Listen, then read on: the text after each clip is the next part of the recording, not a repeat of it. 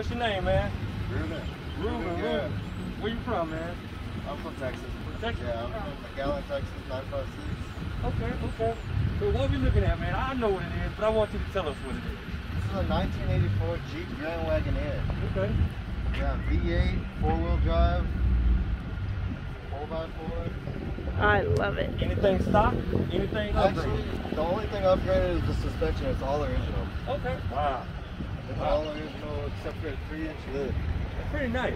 So you got a, okay, you do have a three inch lift. That's pretty nice. That's pretty nice. All right, this is my man Ruben on this 84 Grand Wagoneer. I was gonna say wagon Wagoneer, but you gotta get it right. Power, everything. Power, Power windows. still got the power windows? Wow. Wait a minute, hold on. One more thing. What size, what, what you got? I mean, I know you said it's original, so what engine is it? What you got in there? It's a 59360 AMC American Motor Company. Okay. Back when they were still a thing. Wow.